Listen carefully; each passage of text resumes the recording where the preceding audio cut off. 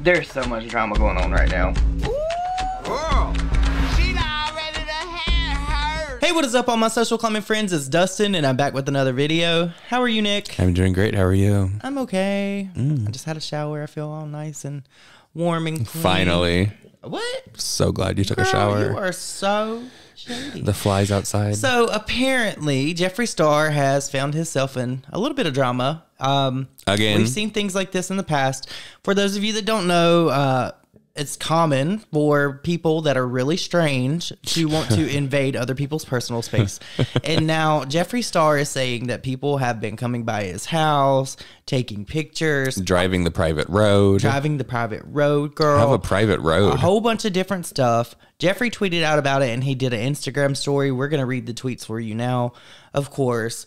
So, Nick, Run me that beautiful bean footage. well, one second. I have to actually search him because I don't follow him. well, no, I sent you the screenshot. Oh, did you? I did. Did, Oh. did your phone work? Oh, actually, I don't know because Verizon? Verizon out here is not good, y'all. Did you have service, girl? Okay, Jeffries. is my line disconnected? no, I'm thinking about Kaya. Okay. Let's see. If you live in Wyoming or surrounding states and know where my house is, please stop showing up. Please stop driving by. Please stop taking pictures. Please stop trespassing. Please stop making us feel unsafe. Please stop acting like LA. Thank you. then he did do another tweet, which was actually kind of crazy, but read it for me. You know what though? I agree. If you see me out in town, please say hi and introduce yourself. I take photos with anyone when I'm not at home unless I'm eating with my mouth full. P.S. My neighbor just gave me this sign for my new gate. And the sign says, No trespassing, violators will be shot, survivors will be shot again. And I agree. I mean, uh, I agree too. I agree. You don't go into somebody's domicile. You know, Jaclyn, I don't think it was last year. It was probably in 2019. She did an Instagram story where she was complaining about people coming up to her at a restaurant, and it's always right when she's like putting the food into her mouth. And it's like, that's rude. You're invading someone's personal space while they're at dinner with their friends or their family. It's like, wait till after. Yeah, no, it's just very creepy. But Jeffree did go on to do an Instagram story. It's fairly long for those of you that don't use Instagram or Snapchat. Uh, I'll put that in here for you guys to see, and then we'll be back with more commentary. Hello, everybody. How are we doing? Um, I never thought that I would come on here and have to make an announcement like this, but um, I feel like some of my friends back home in LA when they come on here and they are simply saying, please stop coming to my house. I never thought I would have to make this statement in the least populated state in America, but if you live in Wyoming, even if you don't live in Wyoming and you live in the nearby states, you know where I live, please, I'm asking nicely, please stop showing up. Please stop driving by. Please stop taking pictures. Um, I've already had a few very scary uh, problems and issues with people in this town. Now, everyone has been really great. I fucking love Casper, but there's been a few bad seeds, and I already have a stalking protection order. A stalking protection order. Like, hello, I just moved here. It's so crazy. Um, and it's been a little jarring. So, we all know almost two weeks ago, I got in a very horrific accident. I'm still wearing this bullshit because my spine is healing. Um, so if you want to meet me and you see me in town, please ask me for a photo. But if you know where I live, please stop coming here. I don't know what the purpose is. Um, this is my home, my safety. People go, don't bring California to Wyoming. Bitch, if you show up to someone's house uninvited and you're trespassing on a private road, that's LA. That's creepy. That's weird, like LA tourist behavior. Um, and I just don't get it. So please stop coming here. I have security guards at work. Um, which I'm not. I'm not going to show them on camera. I'm sure a lot of you that live in town have seen them. They have hot beards, but I'm I'm trying to make funny because I'm actually scared. So I always turn everything into humor, but I'm scared. I already have full protection, so I'm not scared of my life. Like, I literally just survived a car crash with my best friend. I don't know what people want to see. You want to see me outside doing, like, I don't know, nature walks with my dogs? Like, I have security guards that are, of course, armed. We live in Wyoming. Y'all know this is the gun state. I have over 50 cameras on my over 500 acres of property. We have motion sensors. When people even come a mile close to my house, I know. So it's so weird. Um, and I don't get it. So I'm building a fortress out here, and soon that will not be uh, able to happen. You won't be able to drive by my house. But for right now, you guys, no one wants to feel unsafe in their own home or weird or creeped out by people. So relax, please, relax.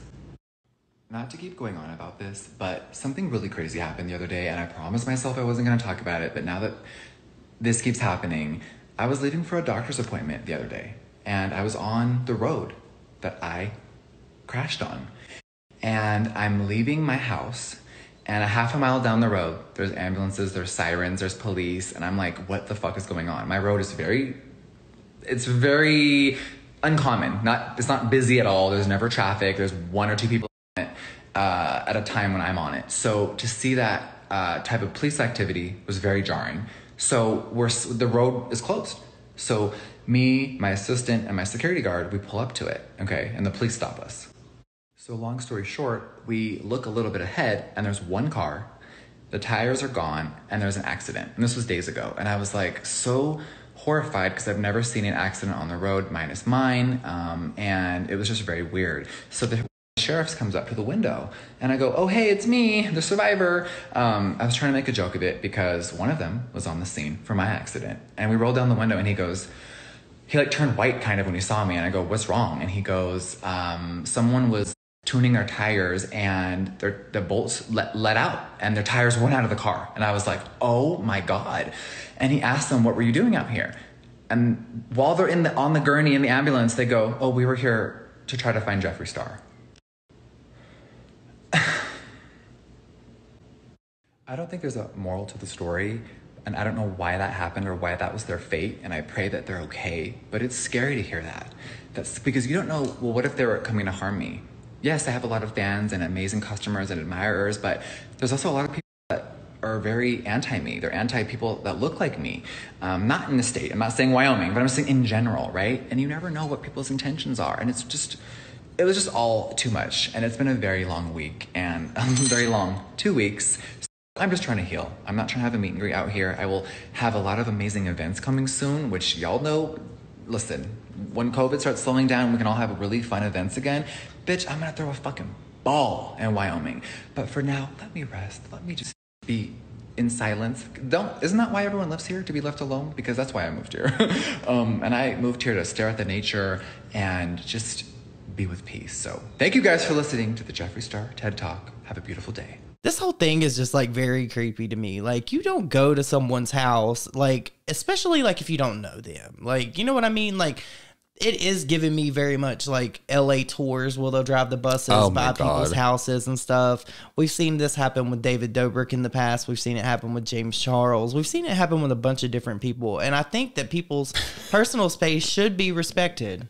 Didn't James say that people were like hiding behind his trash cans? I don't know. It was something crazy, like people were hiding behind his trash cans. It is a huge invasion of privacy. You don't want somebody that you don't know pulling up to your house. Yeah, no. You don't. like that that is a very dangerous situation because somebody could get hurt. Give people the same kind of respect that you would want in return when it comes to your personal space. Well, I don't. It's weird to me because some people like Jeffree, like online, he's a star, right? Mm-hmm. And when he's not online, that's his private business, and like literally, that goes for anybody that is a public figure. Like, you want to be left alone. You know what I'm saying? That would be like somebody coming to our house. Don't come to my house. Don't ride by my house. Don't take pictures of my house. And you know what's weird is it's not even that they are just driving past his house. He literally said they are on his private road. Yeah. That means that you have to make a turn and get to wherever you're trying to go. I hope that he puts up like a gate, a wall. I don't know what he's going to do. like if you have to go out of your way like into a desolate area to where someone lives to like